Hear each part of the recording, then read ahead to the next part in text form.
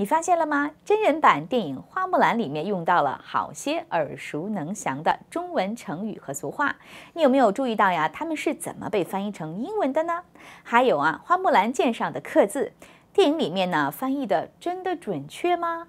来，我们一起来聊一聊吧。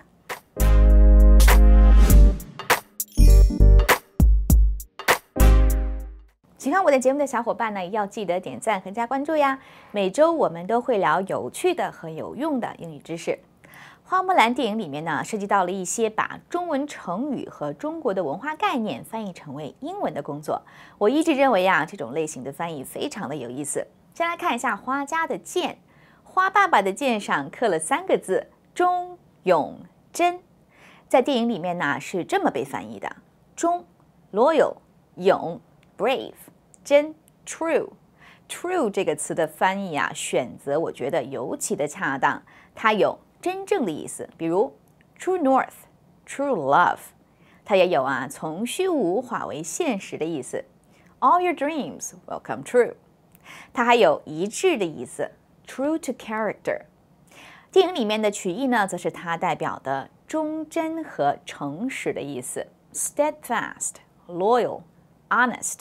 and just，因为里面呢有一个常用的说法，I'm true to my words，就是啊，我说到做到，我不会食言的意思。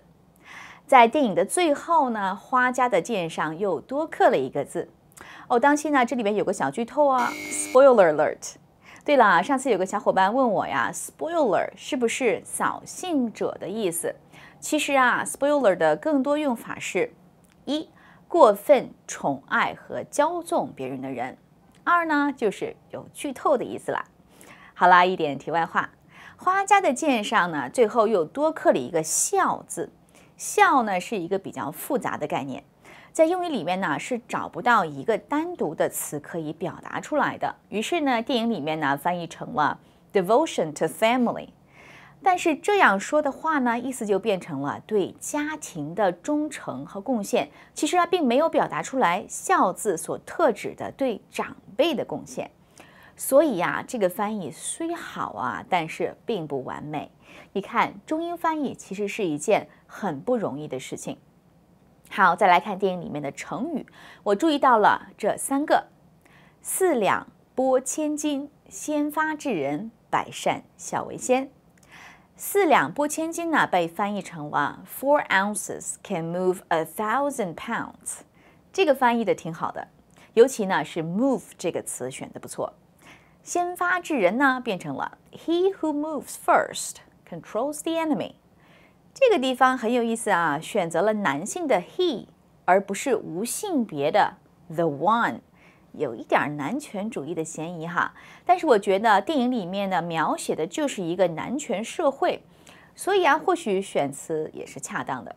但是这件事近年来呀，在英语国家里面吵得比较凶，有人推广抵制一些有性别标签的传统用词，比如说呀，发言人之前常用的是 spokesman，现在呢更多被说成了 spokesperson，消防员 fireman。